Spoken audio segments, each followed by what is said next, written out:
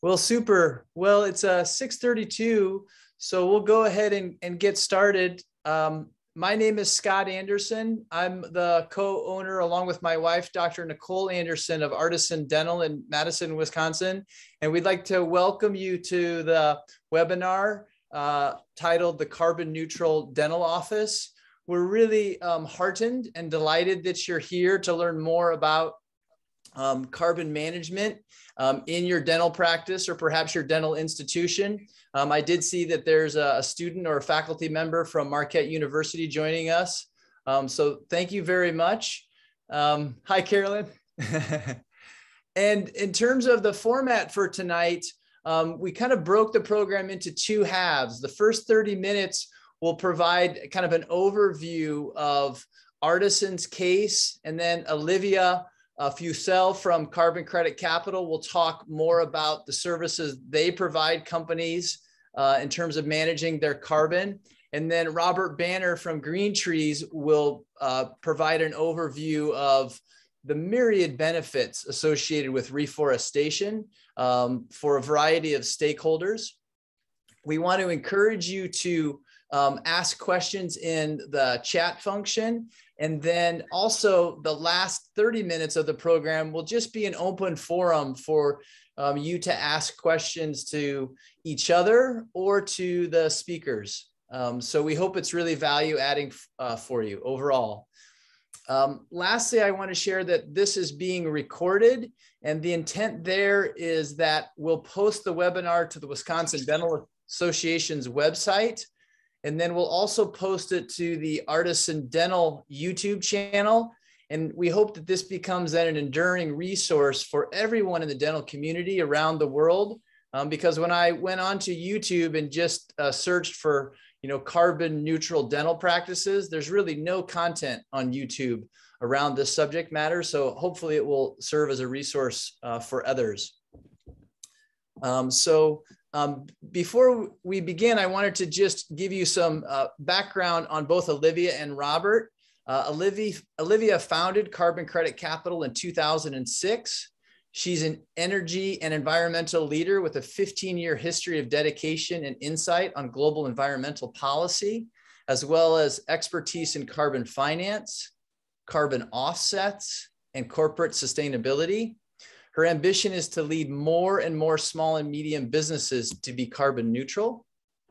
And Robert uh, Banner joined Acre Investment Management three years ago as a senior project officer.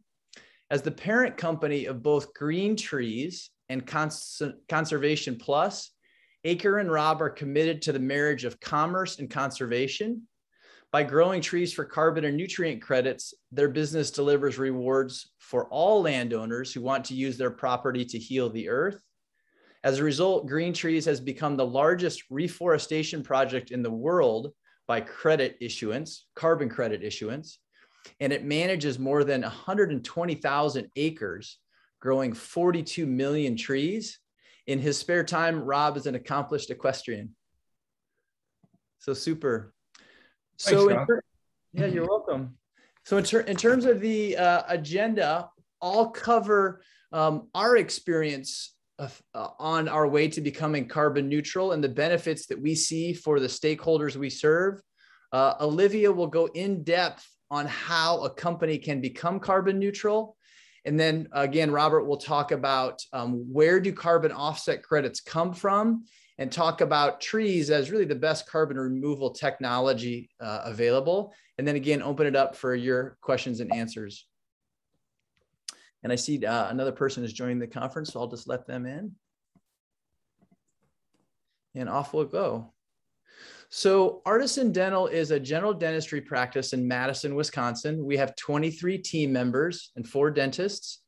We're a mission, vision, and values oriented business um, and are a participant in the wider Business for Good movement. Um, some of those sub movements include uh, being a certified B Corporation, which whose logo you can see, and then also being uh, 1% for the planet member.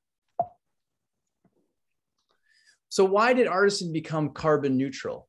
By mission, we intend to serve five different stakeholder groups, our patients, our team members, our suppliers and contractors, the community, and then we consider the environment as our fifth big stakeholder group. We feel we have a responsibility to steward the environment.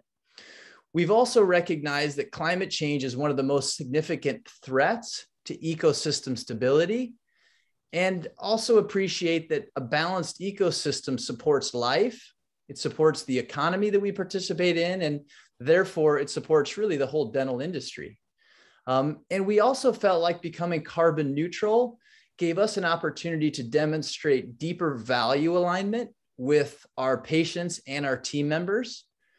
And then, as you'll see, um, we really feel that these types of initiatives can help us attract and retain patients, as well as attract and retain the best and brightest uh, team members. So, in terms of our journey, um, we started uh, the practice in 2014 with uh, simple things that we can do to conserve energy, everything from Energy Star appliances to uh, compact fluorescent lighting. In 2015, we decided to purchase 100% of our electricity from renewable sources. Uh, and in our particular case, we purchased that renewable energy from Madison Gas and Electric. And in just that single choice, we reduced our carbon footprint by 83%.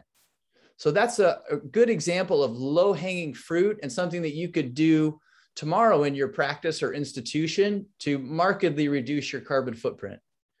In 2018, we started offering our team, our team members an alternative transportation subsidy of $1 a day. So for every day that maybe they drove an electric vehicle, maybe they took public transit, or perhaps uh, they walked to work or rode their bike, we offered them a dollar remuneration. Then in 2019, we decided to become carbon neutral. And we began working with Carbon Credit Capital to start measuring our carbon footprint. And then in 2020, um, after understanding what our carbon footprint was through the analysis that Carbon Credit Capital did, we um, then went forward and purchased carbon credits from GreenTrees.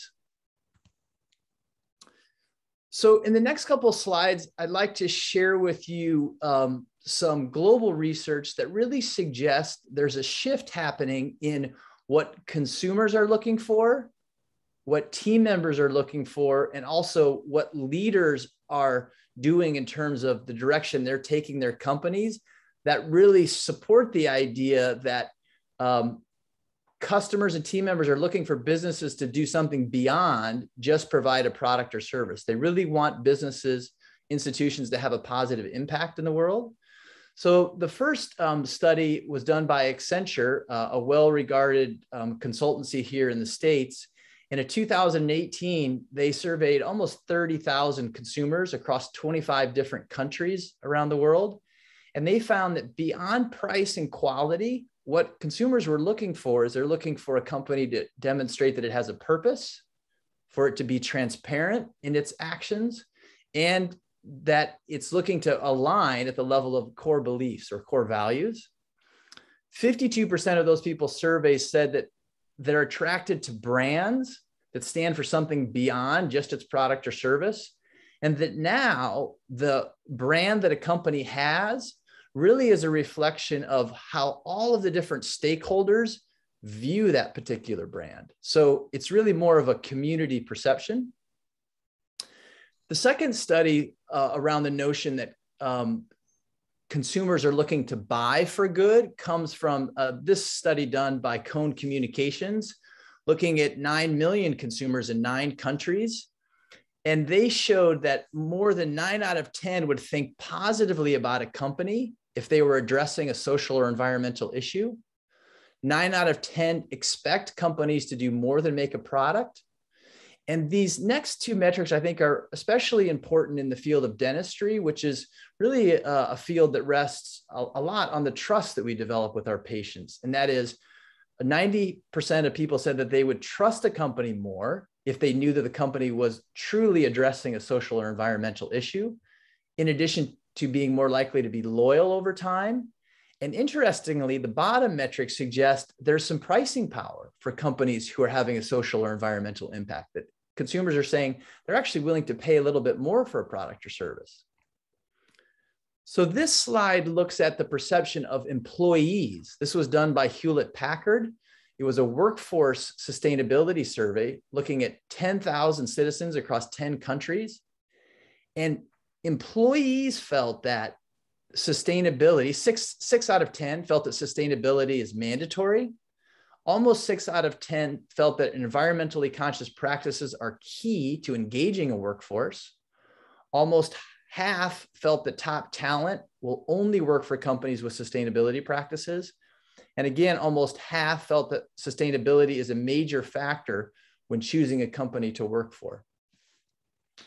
The next slide um, was sponsored by the United Nations Global Compact. Uh, Accenture, Accenture uh, consultancy facilitated it, and it looked at the perceptions of a thousand different CEOs across 27 different industries. And almost eight out of those 10 CEOs said that brand, trust, and reputation of their company drives them to act on sustainability. Eight out of 10 said that a commitment to a societal purpose is a differentiator in their industry. So they see it as a competitive advantage.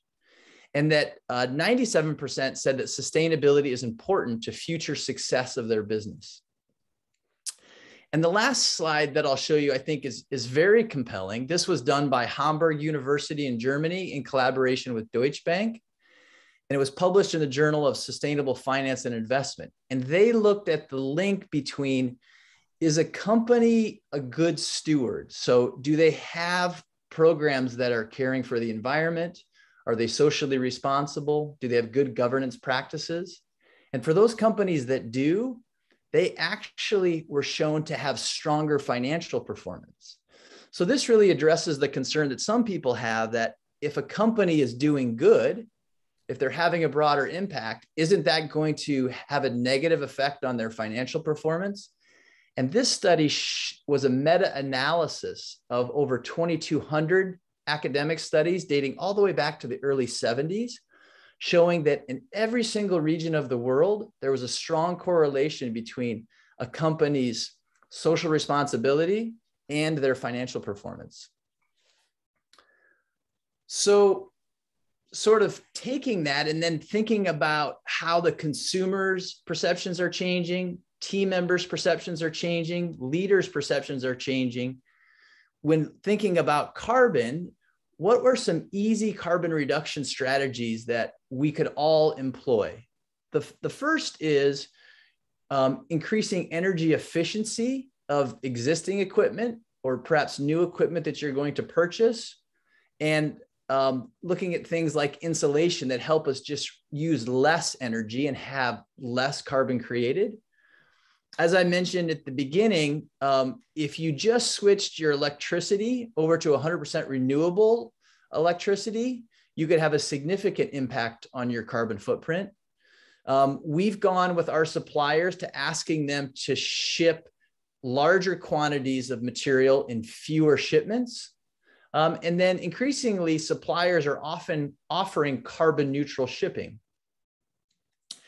So if you if you're interested in perhaps um, engaging carbon reduction strategies that require a little bit more effort, um, you could partner with an organization like Carbon Credit Capital to measure your carbon footprint.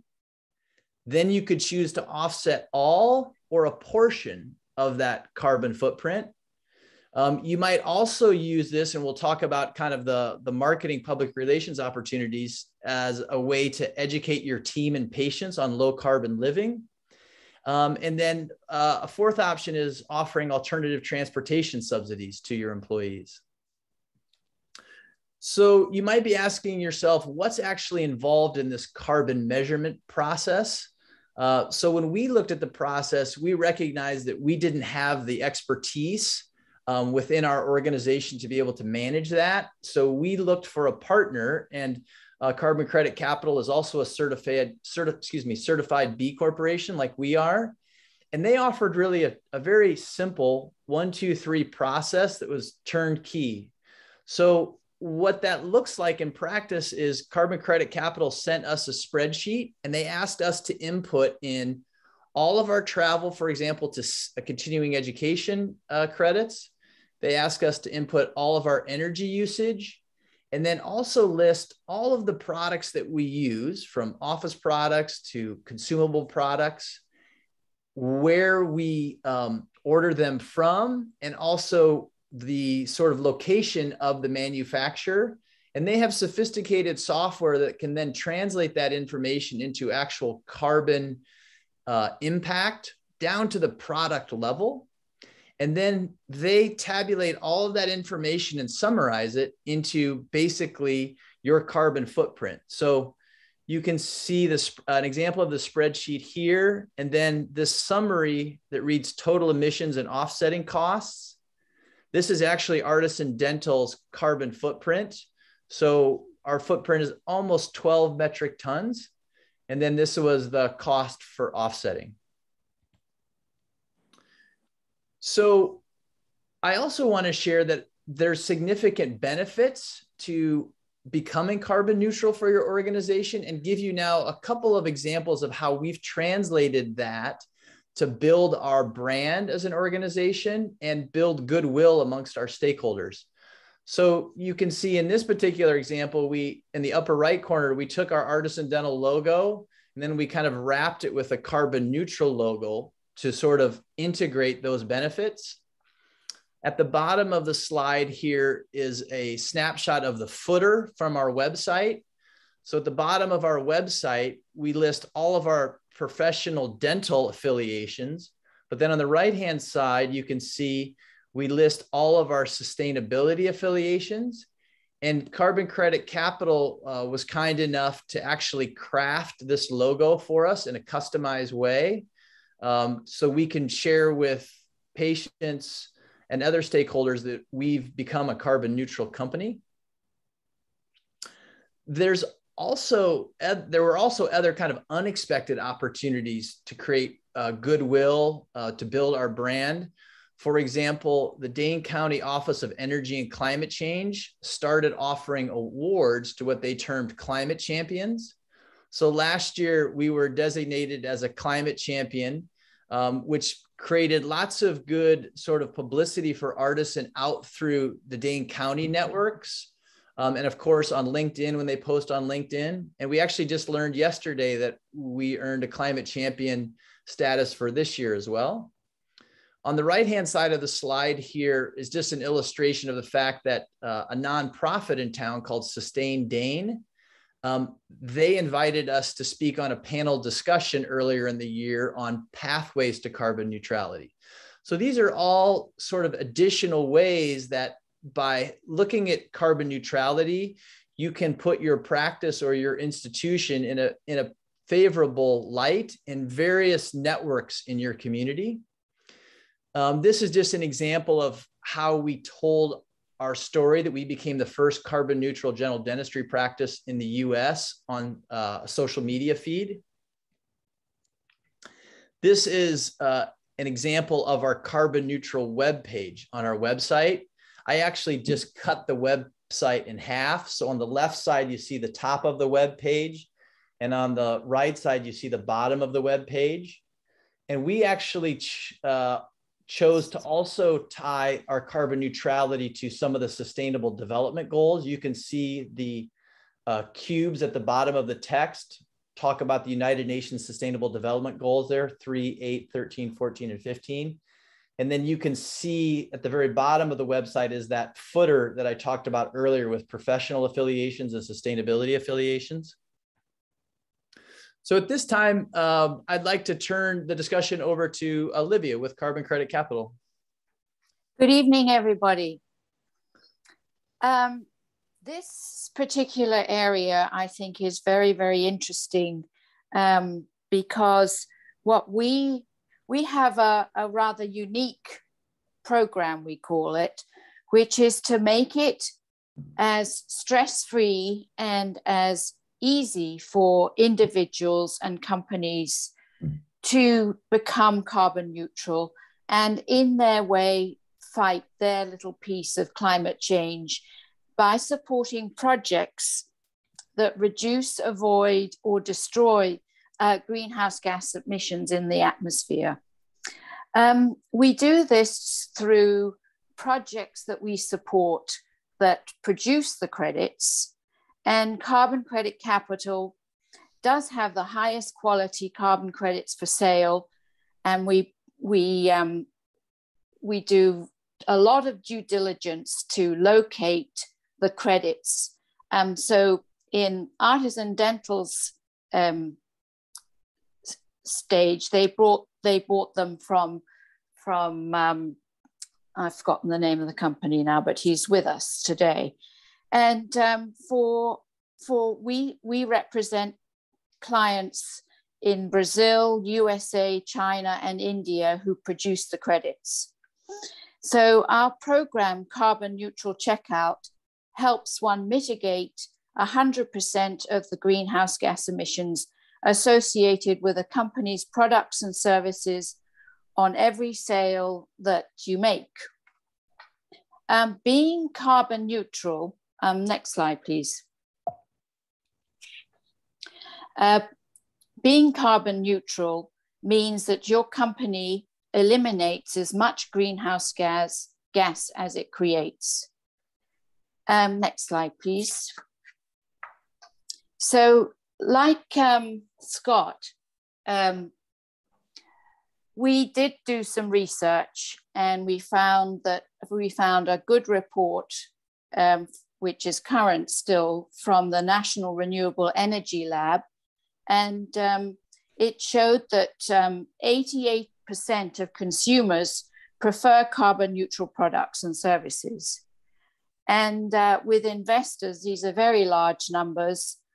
Um, 32 trillion um, are committed to a low carbon transition. I think we'll call it a transition because that's going to take a very long time. And then with businesses, more and more companies set goals to reduce carbon emissions or aim to achieve carbon neutrality.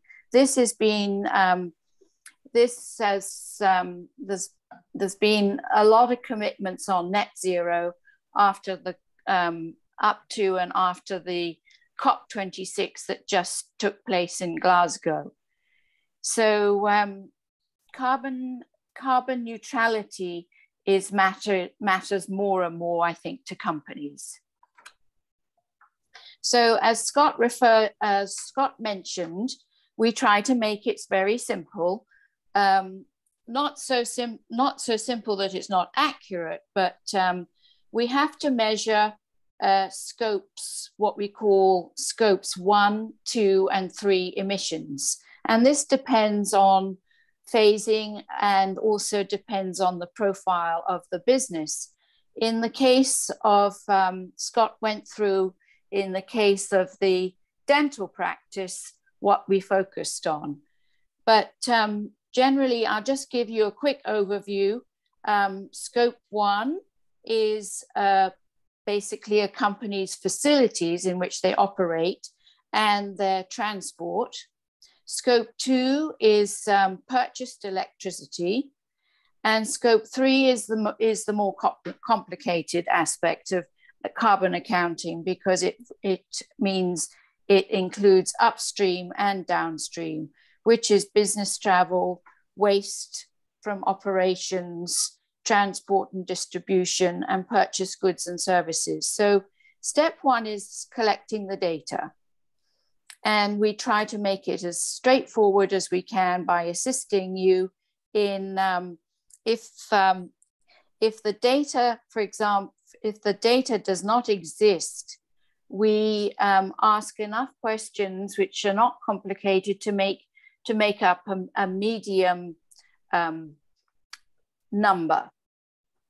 And then um, step uh, four is offsetting and um, purchasing the carbon offsets to mitigate your emissions. Um, next slide, please.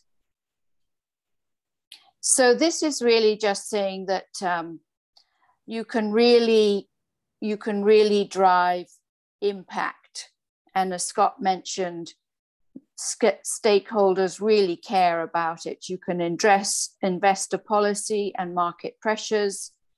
Um, verifiably calculate and reduce emissions, authentically integrate CSR marketing strategies. Other than greenhouse gas emission reductions, each carbon offset project has, and Scott referred to this, multiple co-benefits that can be measured and um, are measured particularly by the standards that and I won't go into all the standard the standards that exist, but that um, hold the credits. Um, but um, we can certainly follow up with a bit more detail on that. And in um, conclusion, um, next slide, please. Uh, growth and impact all flow together. The sale of carbon neutral products and services fund projects, that's what I've been referring to, that create the co-benefits and create the carbon credits. The co-benefits are attributed to your brand through public retirement. We retire every credit that is purchased on a quarterly basis or on an annual basis. And um, public, Scott referred to this as well, public transparency drives goodwill and brand value to increase uh, sales. So um, that's that's where we stand with um, carbon accounting at Carbon Credit Capital. Thank you.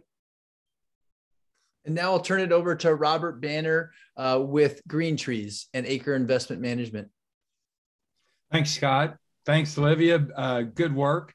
Uh, nice uh, um, uh, course in uh, in this emerging market, um, and uh, I can tell you that um, uh, that if you're listening and you're learning, you couldn't be involved at a, a more important time uh, to be involved. Um, I, I, think this summer it finally touched just about everybody. One in three Americans suffered from some extreme weather event this summer. So um, maybe it was floods, maybe it was uh, wind from hurricane, uh, maybe it was fire out west, or even drought in the southwest. But more and more um, people are beginning to learn that climate change is real. It's getting worse and it's coming to affect them and will continue to affect them. That's more than 100 million people suffered some effect. So the numbers that Scott spoke towards um, will only get um, more pronounced as people realize we have to do more. Um, and this is maybe the best thing that they can do uh, is to play a role in uh, their own carbon footprint.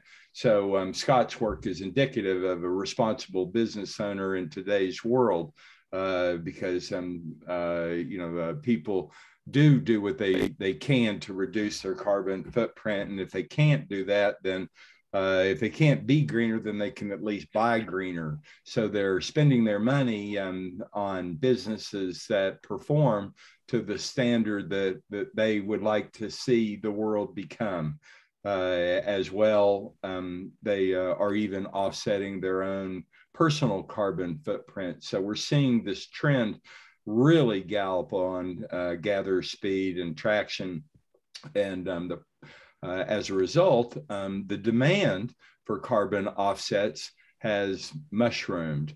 And um, you can imagine that there, there aren't many ways to uh, create a carbon credit. We do it through growing trees, but there um, are, are just it's just a set inventory that's out there, and um, uh, we sell to a lot of people, um, including many Fortune 500 companies like Shell or uh, Norfolk Southern Railway or United Airlines. Um, but when they're gone, they're gone. And at that point, then the uh, demand will drive the price.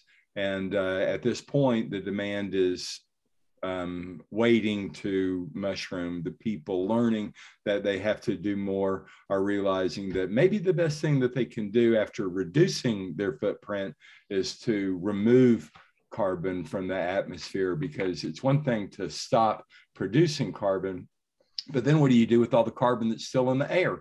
So um, you have to uh, deal with that somehow. Trees, we feel, uh, are the best answer. Um, uh, God bless the people that founded this company um, in 2003 because they had the vision that carbon credits would, in fact, one day be valuable and that trees would be the answer. And they began growing trees then. So now, 15 years later, we're looking at trees um, that are more than 60, 65 feet tall. And um, when you start talking about 42 million trees uh, doing their job to photosynthesize the carbon dioxide in the air, holding the carbon in the trunk and releasing the oxygen into the atmosphere, you begin to see that this is a really simple technology. Um, there are a couple of other carbon removal technologies out there. I'm sure you've heard them all in the press, but none of them are operating at the same efficiency as a simple tree. So that's why uh, we have more than 120,000 acres under management, growing 42 million trees, and we want to multiply that times 10. Uh, we're primarily in the Mississippi, uh, Louisiana, and Arkansas Delta uh, because that's where things grow very quickly, and we like the trees to grow as quickly as they possibly can. But we're moving um, uh, with equal speed into South Carolina and Virginia. Um, the credits come, you might ask, from measuring the trunks of trees and their growth as they grow older. Uh, so measuring the girth of the tree at the basal area, that's um, the, the, the trunk up to about chest high uh, gives you a sense of how much carbon has been stored in that tree in that tree during its lifetime. Now, to certify that these credits are created um, authentically, we um, have to use an independent third-party firm called um, American Carbon Registry, and they send out their own people to measure the trees on a track by track basis, so that the uh, the measurement of their growth is very written done by someone without conflict so that you know when you're buying a, a carbon offset you're buying one that has been produced uh, legitimately and um, it has been done uh, domestically we we we feel that domestic pro- projects are the best because the rule of law here in the united states may uh, outperform that in other countries where we just can't count on the way things get done um, so we're happy to keep most of our projects here in the US. So when you buy a credit um, that's been generated by GreenTrees project, you're buying a certified, serialized uh, um, credit that is officially retired uh, when it has been sold, uh, and that you have you have owned a piece of the effort to solve um, climate change by reforestation. Uh, and um, uh, so the, the beauty of our program is that all of these landowners are aggregated together so that the mass of carbon that we create on seven acres joins that with that we, we produce with a thousand acres. So even the guy with seven acres gets the same price for his carbon offset as the large um, landowner does. Uh, as well, you might say, well, Rob, you're taking valuable farmland out of production to grow trees. And yes, that may be true, but we really aim for the uh, for the land that is underproductive, uh, that's often flooded or unproductive for the farmer in soy or corn or or um, whatever crop um, they're producing. So we know that we're really making the best use of the land. Uh, now, um, think of the tree from the ground up and the leaves doing their job through photosynthesis. Think of what it, e- it, also does through the root structure that is in the ground, and that performs a filter of the um, agricultural runoff that goes through the ground and into the river system. So it's doing two jobs actually. Uh, one is to uh, uh, pull the carbon out of the air, and the other is to filter the nutrient pollution is what they call them. This is just the over fertilization of fields uh, before it gets to the river system and then out to the Gulf of Mexico or the Chesapeake Bay, where it becomes that uh, that um, that loathsome dead um, dead spot that uh, is without oxygen. So we also have um, another company with GreenTrees that does um, all ecological credits. So not just carbon credits, but nutrient credits, stream restoration credits. Um, uh, there's a whole series of ecological rights that the land maintains, uh, um, even if it's under a conservation easement. So um, your land has become much more valuable as a factory for, for um, curing the world's ills. So um, that's GreenTrees and what we do under the parent company ACRE. And um, uh, of course, if anybody um, uh, needs to reach out for the detail on that, please feel free to call me um, uh, uh or um, uh, email me. I think the email is um, is promoted in this um, in this PowerPoint. Thank you very much, Robert.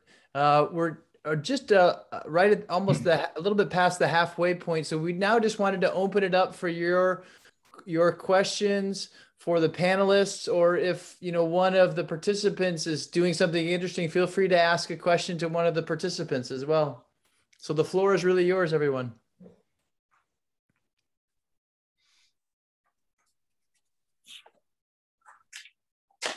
And I'll, I'll also check the question in the chat here. Oh, it's a compliment. So thanks, Jerry. Oops.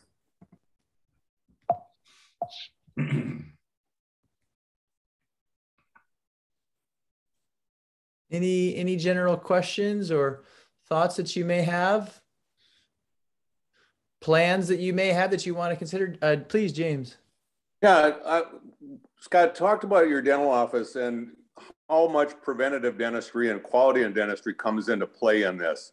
You've got a large staff working on um, full scope of their licensure. That's a big part of preventative uh, sustainability is doing less dentistry, basically. We want the patients um, healthy and, and not doing and redoing a lot of dentistry, correct? I, I think that's a great point, James. And, and I think this was the conclusion of the FDI World Federation of Dentistry that the most sustainable form of dentistry is preventive dentistry, such that um, there's a reduction in disease and a reduction in overall utilization. So I think that's excellent. And then all of the um, associated benefits for overall systemic health. Yeah, thank you for mentioning the FDI. I serve on the dental practice of the FDI, and we've got a large project going on in sustainability right now and developing a consensus statement with a lot of stakeholders. So uh, watch the website for future developments on that, please. So thank you for your leadership, James. And I want to also share for everyone listening that James and a, a colleague in England have put together a CE uh, based webinar on sustainability in dentistry. So I would encourage you to um, consider that. And in addition, um, Beverly Oviedo is on the call. Um, and Beverly recently published a book called The Sustainable Dentist, um, which is available uh, at the same website. I believe, Beverly, it's sustainabledentist.com. She may chime in here. And I, and that's, I also. That's correct, Scott. Excellent. I, I also want to acknowledge Beverly's work developing ASTM standards on sustainability. And, and Beverly's also working um, with the FDI on a whole new set of standards that will really help dental practices with implementing sustainability initiatives. Um, so I'm really excited about that as well. Um, and this also, I want to give another shout out to Beverly. She had the vision to create the world's first conference on sustainability in dentistry in Iceland uh, back in, I think it was 2019, Beverly. 8, 2018. 2018. And then the last resource that I want to mention that is spectacular that Beverly was also influential in um, creating is the American, uh, the Journal of the American College of Dentists did a whole issue on sustainability in dentistry. And that was the fall of 2018, Beverly? Yes. Uh-huh the fall of 2000 and X of 18, and, and that is uh, it's a superb piece. Thank you very much, Scott, for your comments. Uh, you've done a tremendous job of bringing individuals together to help engage the dental industry and you know, I look forward to seeing that blossom in the future. Yeah, I do too.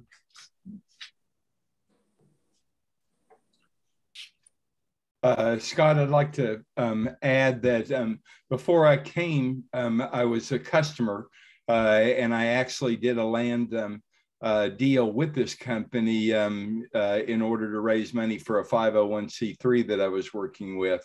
And um, when I reported that uh, in the newsletter that we had done a, a tree deal with, with GreenTrees and, and Conservation Plus, donations improved uh, dramatically. People uh, wrote in actively applauding the fact that we had done this and sending in contributions as a result. So um, I, I, just I had to uh, say i have got to join you guys, so I did. But mm-hmm. I would think that in your own practices you'll see the same support fueled by those who really want to do their best to or can, want to try and do their best to to solve things. That's I, I I never knew that, Robert. That's really interesting to hear you share that. So these same principles are operative in a nonprofit setting in terms of you know the donor stakeholder. Well, we um, we see it um, uh, with the companies that would like to um, offset their own very large emissions. Um, uh, uh, Shell, no secret, very large Fortune 500 company. Um, they buy uh, a lot of um, carbon uh, offsets from us. And um, but like many on Wall Street, those stocks uh, are um, uh, vetted by how well uh, their managers uh, perform in carbon neutrality. So they they have to maintain a certain pace towards this goal. Um, and if they don't, then um, their stock prices will take a dive. They actually say that um, that they see an uptick when they announce that um, that they have um, purchased more offsets uh, from us. So um, so it, it, definitely has a positive uh, effect on your customer, and it will hopefully bring them to the door. Yeah. Uh, I can just uh, footnote what Robert is saying in terms of the fact that hmm. back in 2015 and 16, when we just chose to purchase renewable energy, we created an eight and a half by 11 little flyer in our office, and we just put it in those clear plastic holders that will sit on the operatory counters. We also have an iPad bar in the waiting room, our front desk, we put those up there and the the fact card said your your care powered by the wind and the sun. And we had a picture of a solar panel and a picture of a wind turbine. And you know we put the madison gas and electric logo and the green power logo. And we even had a customer write in a google online review you know they talked about the quality of care first, but then they said as kind of a last sentence. And I love the fact that they're using renewable energy. So this is a kind of a direct illustration of what Robert is talking about in the form of a patient review, which from our perspective then has enduring marketing value um, and probably more credible marketing value because it's coming from a direct patient experience.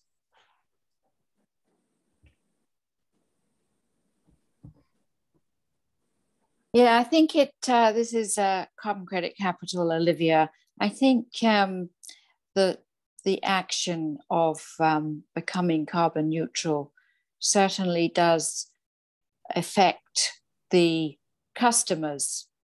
Um, we offset um, several food companies, and um,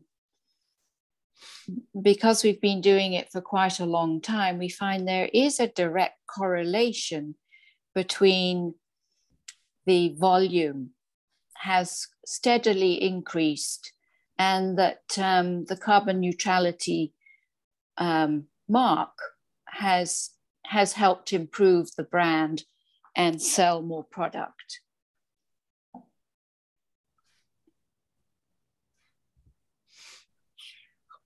So I'm just I'm just noticing there's a couple more chats. I'll just check and see if there's a question there. Okay, so Sarah is asking, uh, what other carbon offset methods are there besides using trees? Olivia, do you want to take that or Robert? Yes, I can take that. Um, there, there are many, and um, they're they're all pretty well articulated within the standards when you create a carbon credit project. Um, so, in in certain countries, you can offset with renewable energy, um, primarily wind and solar. Um, we can we have um, in the way of other sequestration other than trees. It's um, the this carbon sequestration into um, beginning now into um, disused oil oil and gas wells. Um, there's methane reduction on um, for for um, agricultural agriculture. Um, there is um, also methane reduction on landfills. Um, we're working on a number of, of projects that uh, can reduce the methane from landfills if they are recycled um, before they get into the into the the, the into the landfill. Uh, what else? I think I think is that enough to. We can send um, a, a, summary of um, all the different types of ways to to offset to create these projects if that would be helpful. I can um, I can add to that by saying that um, uh, even though there are all these um, uh, great ways to um, create carbon offsets, um, uh, the inventory is not nearly um, enough to keep up with the uh, mushrooming demand. So the carbon price uh, may be something that you're interested in uh, tagging too early by buying credits um, against um, your um, your footprint. Um, now uh, the uh, credits, um, oh, well, I think when they first opened this company, those credits were selling for uh, three to five dollars a credit. They went to eight, then ten, then fifteen. Um, our last contract sold them at twenty five dollars a credit, and um, uh, but I can see that um, even now um, uh, the price of $60 of credit is very real and um, $100 of credit is being predicted. Um, uh, we're very uh, cautious about um, about um, the enormity of uh, what could be out there to buy offsets um, uh, if really promoted aggressively. Um, when you think about the Fortune 500 companies uh, in just this country, it's a very small top of the pyramid, but that small to medium sized business like your own is much wider, much larger. And um, you can buy credits at this point for a very affordable price. Um, that price may go up um, soon. Uh, so, what you do now may affect the price of what you will want to do later. And um, I would advise now than later because um, the price uh, at $100 is predicted by maybe next year, early next year. Wow. Um, and um, uh, a, um, a blockchain auction is being um, uh, organized so that those sales could be um, articulated to anybody. Um, I can say that there have been some tests uh, through Shell in Holland so that they can offset um, your gas purchase at the pump when you're buying it. So mm-hmm. that you choose you can offset it right then right there with a, a, a um, an increase in the price so that you're buying the credit from shell that they purchased from us. Uh, but it's um, really taking traction. I can see the same thing happening in this country is people begin to take individual uh, responsibility for their own footprint what they're doing um, and it, it's going to be that large uh, and, and it's going to have to be that large to tackle the, um, the climate change question as quickly as we need to. So that's great. So it's uh, Robert's uh, response is uh, speaking to um, the next couple questions. Um, I, I don't see a name. I just see the numbers 94412. Uh, but their second question in the chat box is uh, I'll take that easy one first, which is how do you specifically purchase renewable energy versus regular energy from a utility? So in our case, we we just call Madison Gas and Electric. They have a kind of uh, division that works with small businesses.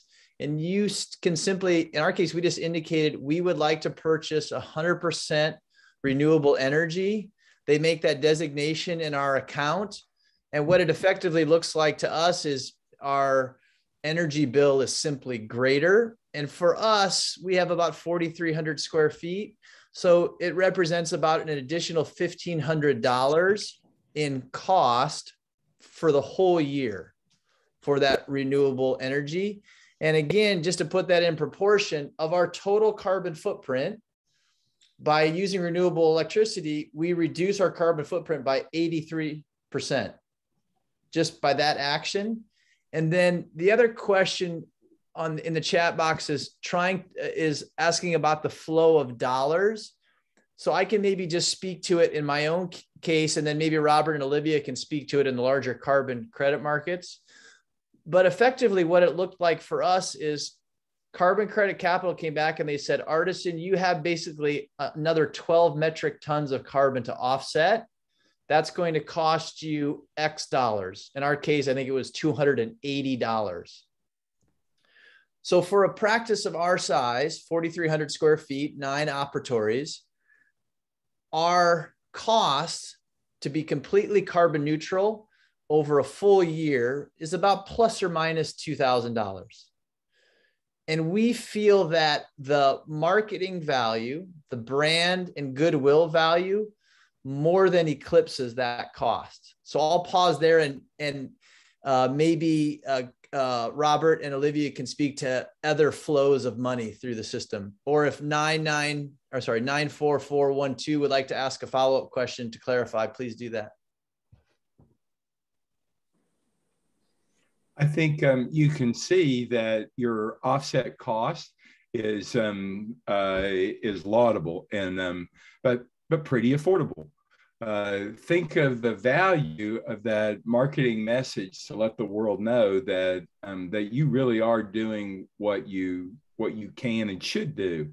Um, now, uh, linking arms with all of the other dental practices out there that could, in fact, offset their own footprint in the same way. Now you've now you've got a real power, uh, and um, and the industry has not spent a great deal but it lets um, their customers know that you're uh, working for them and all the other stakeholders that you mentioned. Um, that this is uh, what we will all have to do in our respective businesses, no matter what we're doing, and we're just going to have to wrestle with how do we deal with this. Yeah, Olivia, did you want to uh, speak more to that? And I know that uh, Sarah has an additional follow-up question. I think that um, Robert's idea of um, sort of almost c- creating a group to purchase offsets on behalf of a number of dental practices is sounds like a like an economical way to go here. Um, so that's that's about all I have to contribute. I I look forward to the next question. So uh, Sarah was uh, asking a very good question, which is, does Artisan need to continually buy credits each year? And the answer is yes. Um, mm-hmm. The opportunity, uh, and as Robert is sort of speaking to, the the carbon market is like any other market; it's dynamic. Um, so potentially our cost could increase. The other opportunity set here for businesses is they can work at reducing their total energy usage through things like, let's say, a better insulated building. Maybe they have more energy efficient appliances. Uh, another great idea, which we haven't touched on much, but I'm seeing, um, I know at least one practice in Madison, they have solar panels across their whole roof. So that's a great way to significantly reduce your carbon footprint um, and kind of fix your costs. Um, and there's great subsidies out there now from the federal government to purchase solar. Yes, panels. There are. But a good question, Sarah. Yeah.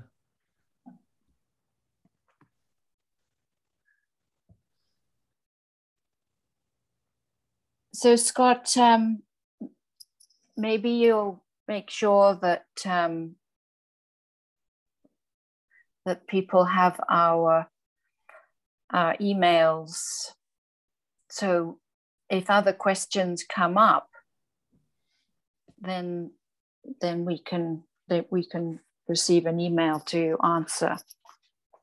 No, I think that's great, Olivia. And and yes, for those who are interested, um, you can see the respective emails of myself, Olivia, and Robert on the screen here. And again, uh, once we kind of edit this film, I'll post this film to the Artisan Dental YouTube channel, and then the Wisconsin Dental Association will also have it posted. Um, so feel free to reach out to us with any additional uh, follow-up questions that you have. Um, so there's another question in the chat box, which is a good one for Robert or Olivia, and that is, is there a tax advantage or deduction for credits purchased? No, not that I'm not that I'm aware of. I don't know of one either. Uh, there is uh, obviously a talk of a, a, carbon tax on those that continue to um, to um, put emissions in the air, and um, uh, and using that tax as a subsidy to help fund those carbon reduction or removal efforts that are out there and need um, need the support to find um, uh, true footing. Um, but there is no tax advantage that, that I'm aware of. Um, uh, but um, it is a, uh, a market, like I said, that, it, that you should participate in now. And nothing says that you can't um, buy enough credits, uh, Scott, for the next five years based on the uh, accelerated pace of the of the value, and um, because it will be there, and um, and you may have to pay that then than than now, um, and you may rather pay the price today. Yeah, I, I actually appreciate you forecasting what the market's doing, Robert, because that's what I was actually thinking. well, um, nothing. I mean, it's a market. Um, and um, and nobody uh, ha- has a, um, a crystal ball. But um, if you can just imagine the enormous population that is now really concerned because it affected them this summer. I, I had a tree down in my yard. Uh, people down the road were flooded out. Um, the fires, the drought, it just, it is now at your doorstep. And if you didn't believe that it was real, uh, before, you you certainly have got a, a big indicator that it is, and that and most people are trying to take this very seriously and do what they can. You've gone uh, above and beyond, Scott, and I think applause for you uh, in uh, yes. in leading the way and being the first. And um, uh, I think that's um, intelligent and um, yes. responsible and um, uh, in every way as a business owner. So applause to you and others that follow you. Well, thank you. And um, I hope that the whole program was beneficial for everyone. Um, and please um, reach out to us with questions that you may have. And we would also welcome your feedback in general about how the program could improve. Our larger sort of vision is that um, the program is well received um, by people such that um, we would have a strong case to then approach other state dental associations, national dental associations. And, you know, James, uh, you already have uh, CE programming and a webinar that perhaps, you know, you could create a, a separate carbon neutral webinar that could be offered globally. But you know effectively want we want to get the message out. So if you have positive feedback as well we would welcome that. And uh, feel free to share that with the, the wisconsin dental association as well. Um, but if there aren't any other uh, questions uh, I, I, think I, I see one more question maybe in the chat box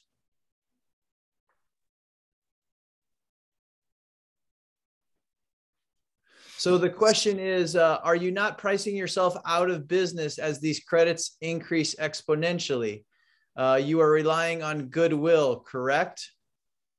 Um, my my own particular sense is that um, with the ability to markedly reduce one's carbon simply by switching to renewable energy with your utility or purchasing what are called renewable energy credits. And those are basically an option if your utility doesn't offer renewable energy, which most do, you can purchase these renewable energy credits, which are effectively the same. So I think, again, in our case, we were able to drop our carbon by 83% just purchasing renewable energy.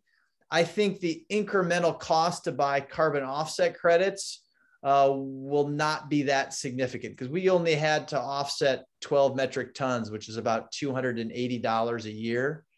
Um, so we feel that the, the return on investment, if you will, from a marketing branding perspective, um, is actually excellent in light of just that cost. So super. I don't see any other questions. Um, so other than that, have a great uh, holiday season. Yes, have a good holiday, everybody. Thanks right, for hosting. Thank you. Thank you very much, Scott. You're welcome. Thank you, everybody. Bye now. Bye.